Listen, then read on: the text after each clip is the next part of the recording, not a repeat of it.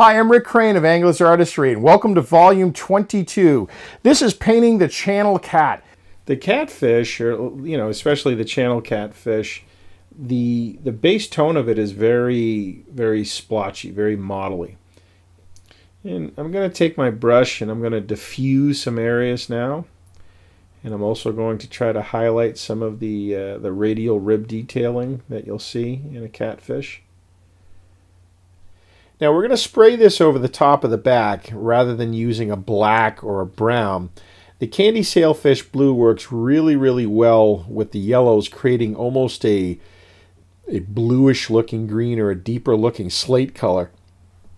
What's nice about this is that you can apply this color lightly or you can put a heavier application depending on what your reference shows you.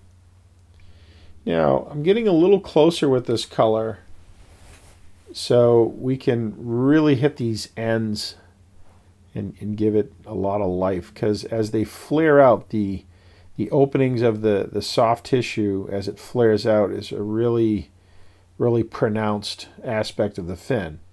We're going to blend that all in with um, some Epo Grip Fin Magic, but we're just going to test fit it first, get the orientation to where we want it to be, make sure that everything fits, and then we're just going to super glue everything into place once we know what we want it to look like. And we're just going to blend in around that base and, and bring them up on the lower whiskers a little bit.